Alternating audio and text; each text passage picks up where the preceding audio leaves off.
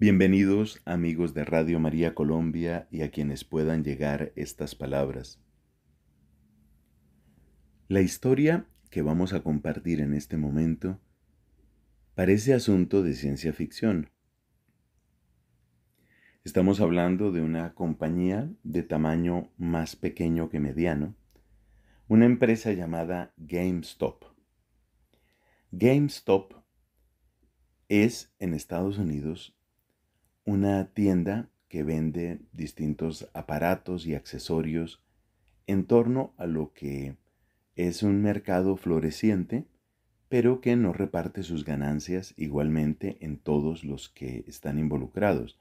Me refiero a la industria de los juegos electrónicos y de otros aparatos y accesorios eh, en la misma línea.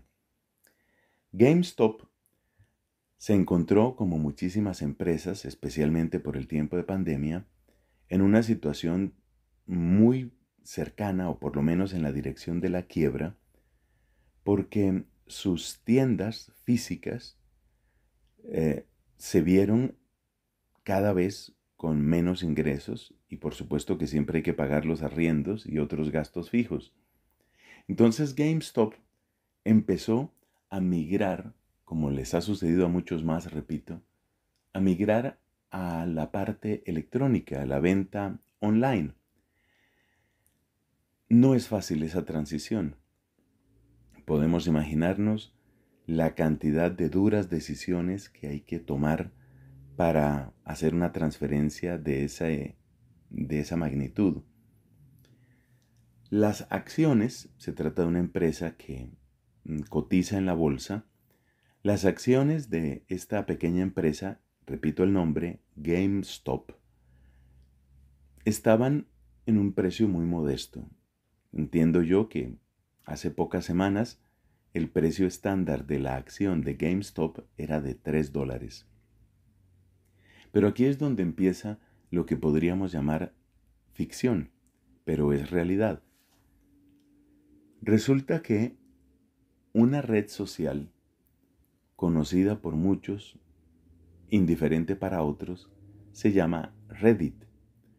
Reddit, que se escribe R-E-D-D-I-T, tiene una característica como red social y es que funciona como salones permanentes de diálogo.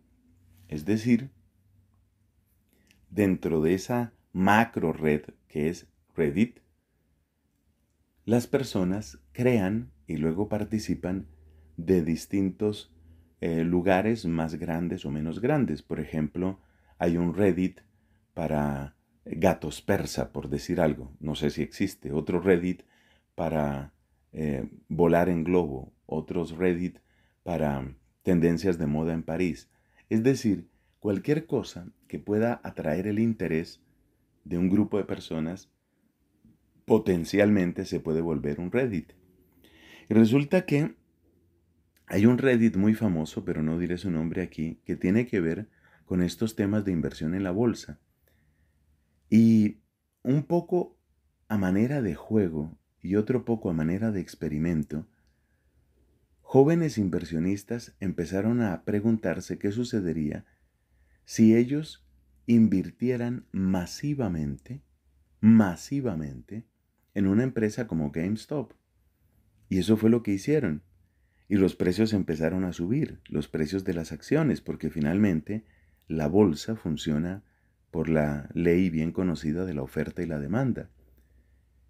De modo que las acciones que hace pocas semanas valían 3 dólares, hoy se están acercando a los 400 dólares. Ni siquiera me preguntes qué porcentaje de crecimiento es ese, pero es un crecimiento que no responde a un cambio fundamental en la estrategia, en las ventas o en los ingresos de GameStop. Es simplemente el acuerdo entre un gran número de personas que quieren darle un valor a algo.